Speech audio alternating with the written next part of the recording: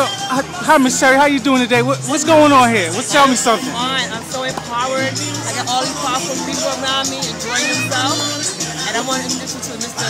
William Bell. Yeah, Mr. Bell. How you doing, sir? Everyone's Not been. How you feeling? What's your organization? Tell us about your organization. Well, my organization is about helping kids. That's what we're trying to do now, you know. Trying to get all communities together and work together as one group, you know. And, you know, get the kids off the street, you know, so they don't be uh, subject to the, the punishment they have to deal with every day. Just trying to help them. That's a great thing. So nice to meet you. Uh, I hope to see you soon. And maybe Oh, we I'll could. be around. Right, all right, yes, sir. Okay, all right, Miss Sherry. Anything I that. will also introduce uh, Anthony. Anthony? please. Anthony. How you doing, sir?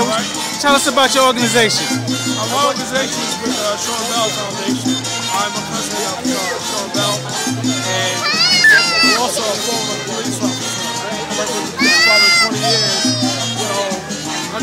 Justice for the family.